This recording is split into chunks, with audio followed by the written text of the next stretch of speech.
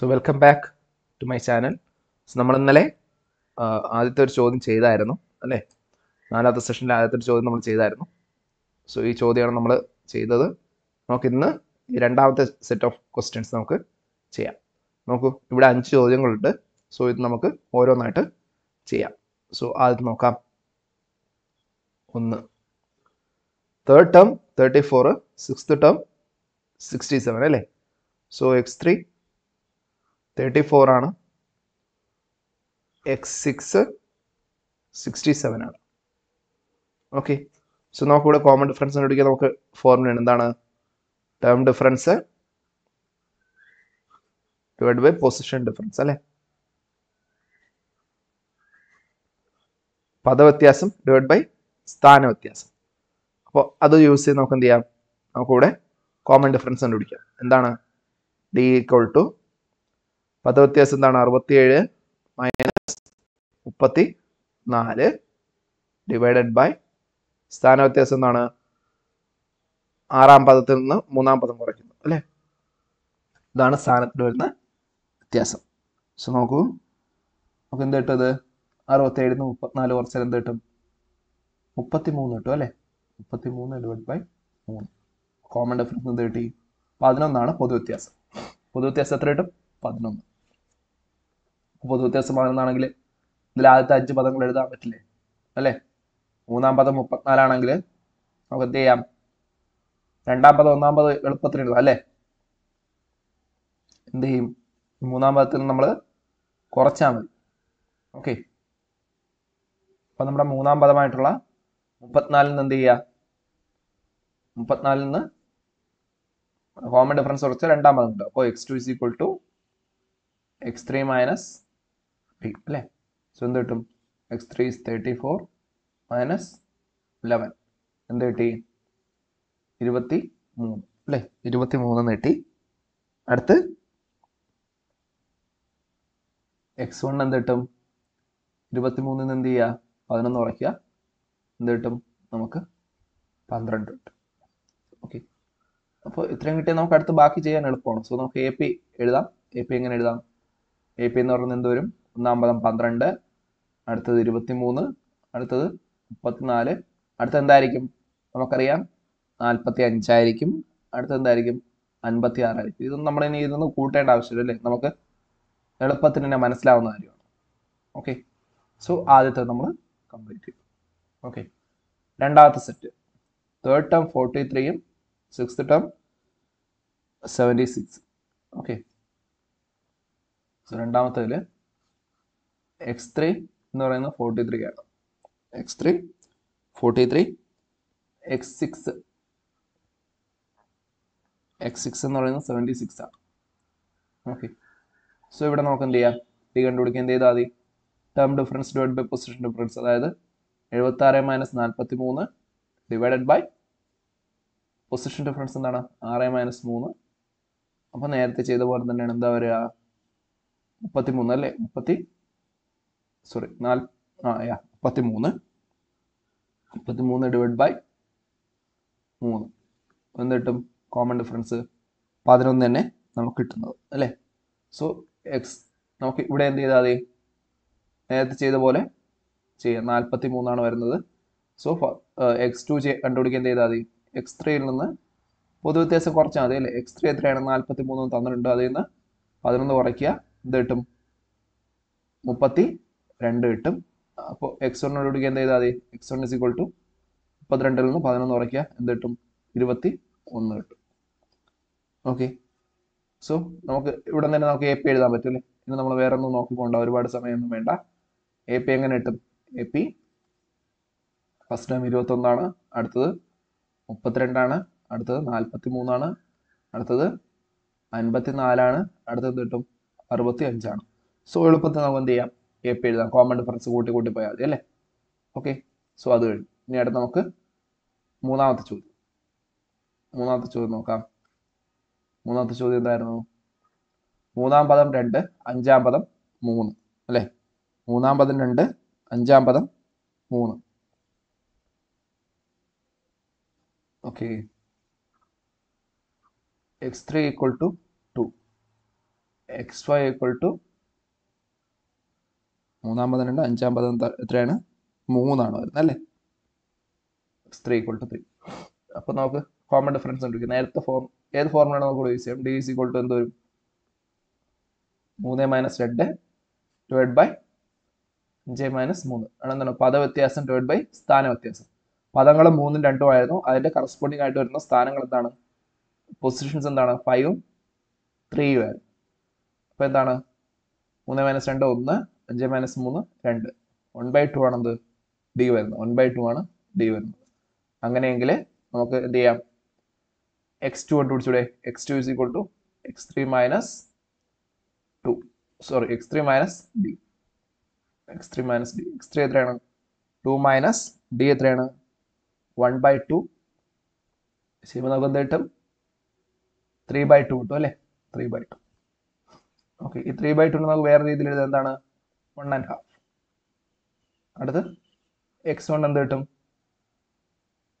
X two minus B x two എത്ര? Three by two minus one by two so എന്ത് കിട്ടും അത്? Two by two അഥവാ one എന്ന് കിട്ടും. ഓക്കെ വൺ എന്ന് കിട്ടും. അപ്പോൾ നമുക്ക് എ പി ഈസി ആയിട്ട് എഴുതി കൂടെ എ പി എന്താണ് ഫസ്റ്റ് ടേം ആണ്. ഇത് വൺ ആൻഡ് ഹാഫ് ഓക്കെ ആണ് നമുക്ക് ഇങ്ങനെ എഴുതാം. രണ്ട് രീതിയിൽ ഞാൻ എഴുതി തരാം one three by two two five by two ആണ് എന്താണ് two plus x four x four കണ്ടുപിടിച്ചില്ല നമ്മൾ അത് കണ്ടുപിടിക്കുന്ന സ്റ്റെപ്പ് ഇവിടെ എഴുതിയില്ല. ഓക്കെ എക്സ് ഫോർ നമുക്ക് കണ്ടുപിടിക്കാൻ എളുപ്പമല്ലേ? എക്സ് ഫോർ എന്തെങ്കിലും ബുദ്ധിമുട്ടുണ്ടോ? X four is equal to x three plus D x three എത്രയാണ്? Two two plus one by two എന്ത് കിട്ടും നമുക്ക് ഫൈവ് ബൈ ടു നിങ്ങൾ അതിനെ ചെയ്ത് നോക്കിയാൽ മതി കേട്ടോ. ഫൈവ് ബൈ ടു അടുത്ത ടൈം എന്താണ്? ത്രീ സോറി അപ്പോൾ ഇതിന് വേണമെങ്കിൽ നമുക്ക് എന്ത് ചെയ്യാം? മാറ്റി എങ്ങനെ എഴുതാം? One one and half two two and half three ഒന്ന് ഒന്നര രണ്ട് രണ്ടര. ഓക്കെ ഇങ്ങനെ പോകുന്നതായിരിക്കും എന്ത്? നമ്മുടെ മൂന്നാമത്തെ എ പി എന്നത് സോ മൂന്നാമത്തെ ചോദ്യം നമ്മൾ എന്ത് ചെയ്തു? സോൾവ് ചെയ്ത് കഴിഞ്ഞു കഴിഞ്ഞു രണ്ട് കഴിഞ്ഞു മൂന്ന് കഴിഞ്ഞു നാലാമത്തത്. നാലാമത്തതിൽ നാലാം പദം രണ്ടും ഏഴാം പദം മൂന്നും. ഓക്കെ നാലാം പദം രണ്ടും ഏഴാം പദം മൂന്നുമാണ് വരുന്നത്. സോ നോക്കാം. X four is equal to എന്താ? Two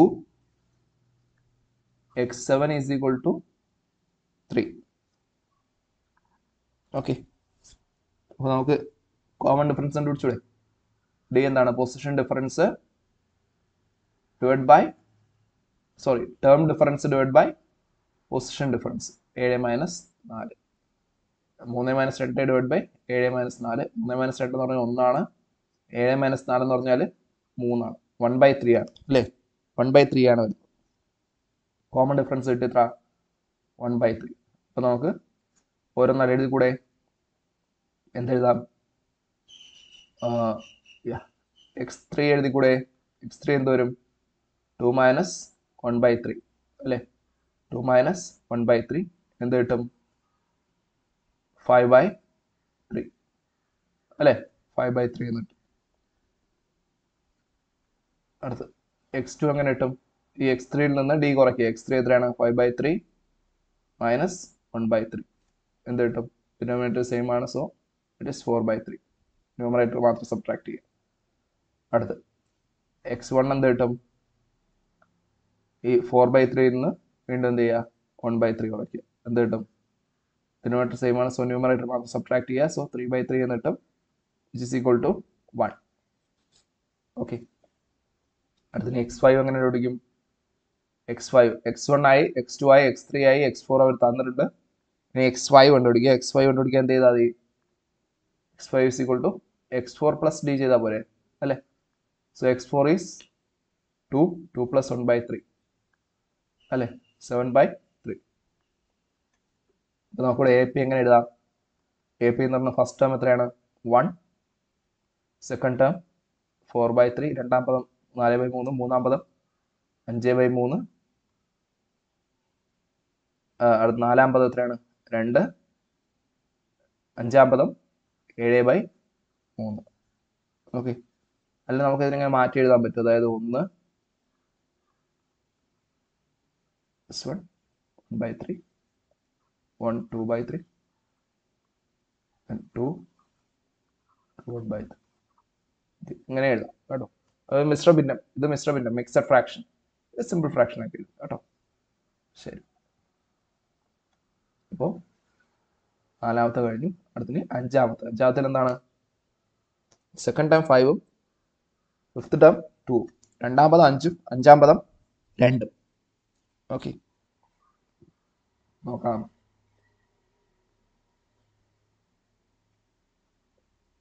അഞ്ചാമതാണ് എന്തായിരുന്നു? സെക്കൻഡ് ടേം ഫൈവ് ആണ് അല്ലേ? X two is equal to five fifth term x five is equal to two അല്ലേ?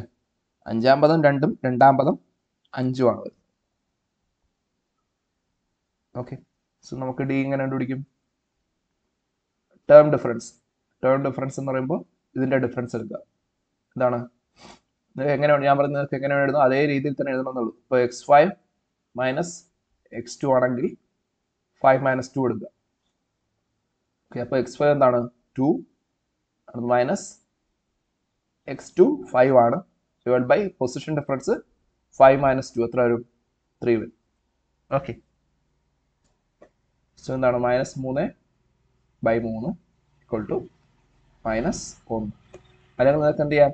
ഇങ്ങനെയും ചെയ്യാം. എന്താ?